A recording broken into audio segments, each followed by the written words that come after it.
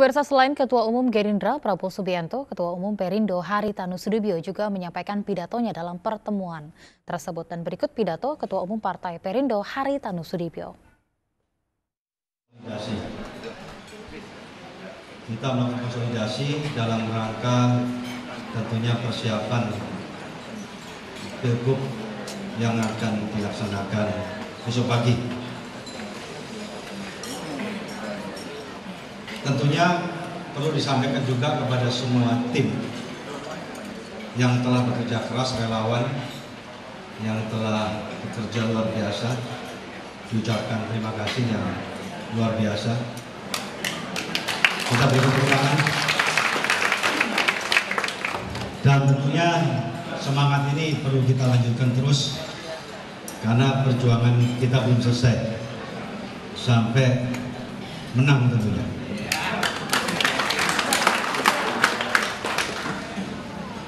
Saya ingin memberikan kabar gembira karena kami monitor terus survei yang terakhir yang baru dikeluarkan tadi pagi. Jadi dengan menggunakan data kemarin, pasangan Anies Sandi masih unggul lebih dari 2 persen. Tepatnya 2,9. Tapi tentunya tidak bisa kita sepelekan sebagaimana kita ketahui, kita semua tahu bahwa banyak hal yang tidak menginginkan kecurangan, ya, khususnya dan keberpihakan juga yang harus kita waspadai. Tentunya kita semua berharap perjuangan kita tidak sia-sia, jangan sampai sia-sia. Sudah hampir garis finish.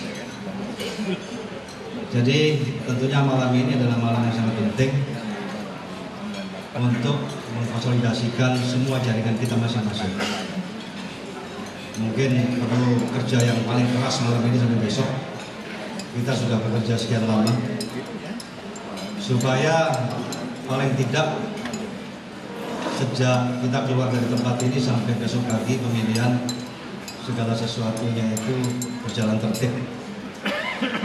Tidak ada hal-hal yang tidak termasuk tentunya kecurangan-kecurangan dan lain-lain.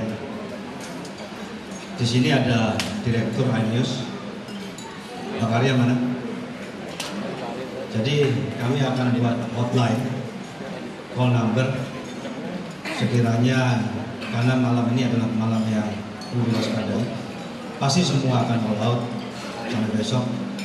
Sekiranya ada hal-hal yang kurang pas bisa dilaporkan ke tentunya ke iNews supaya bisa diberitakan lagi.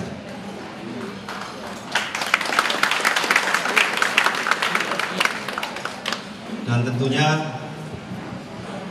harapan kita semua kita berjuang bukan untuk diri kita dalam hal Kita berjuang untuk masyarakat DKI. Kita berjuang untuk pemerataan yang adil, kita berjuang untuk bangsa Indonesia yang tentunya makmur dan berkeadilan. Jadi